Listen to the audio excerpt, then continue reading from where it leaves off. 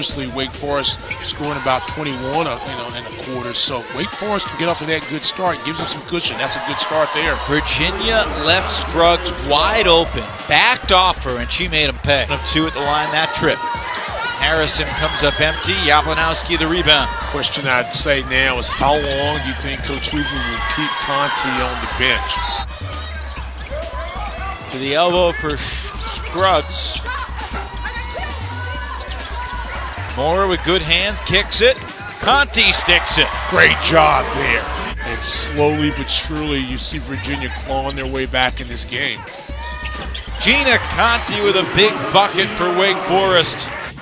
Cornegay Lucas just takes it away, but then throws it away. Two on one. Conti oh, takes nice. it herself. Gina. I thought they were advanced. Well, never mind.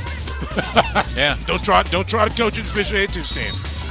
Chance for a three-point play for Toussaint. Yeah. That's how Virginia can get back into it. Wise man. Get in, you know.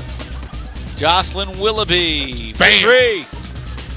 Too little, too late, though. Four seconds left. One team with Beatrice Montpelier. Yeah. One team without her. Yeah.